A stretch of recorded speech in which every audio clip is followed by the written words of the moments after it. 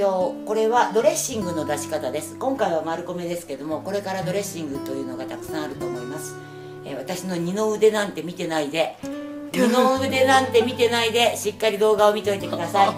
まずこのケースがある時はこの透明のケースがある時は必ずこの中に氷を入れるもんだと思ってください、はい、今日はちょっと代わりに底を上げましたけど必ず氷を入れてください。はい、えー、氷の中に野菜を入れあの冷たくするために入れておきます。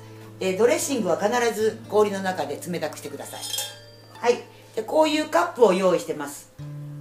この中に野菜を入れます。野菜を入れてドレッシングを入れます。はい今回はちょっと違うドレッシングですけどもドレッシングを振って入れて入れたらこの竹串。この竹串で。いいですか？この竹串でかき回します。そしたらこの竹串で野菜に刺してこれは、えー、例えばこのセサミですよ。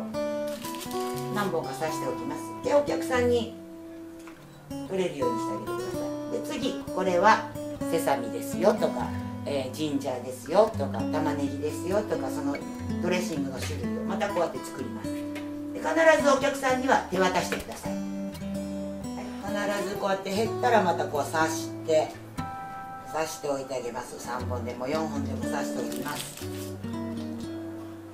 でこの野菜をお客さんにこうやって取ってもらって入って。お客さんにこうやって取ってもらってもいいんですよ。ただカップを渡さないでください。カップ渡しちゃうとそのまま持っていっちゃいますから。爪楊枝で刺したものを渡します。注意してほしいのは必ず野菜を冷たくしておくこと。あの必要な種類を全部ここに作る作っておくこと。そうすることによって味比べができるようになります。味をお客様が比べることができるようになるので必ず何種類3種類あれば3種類出しておきます。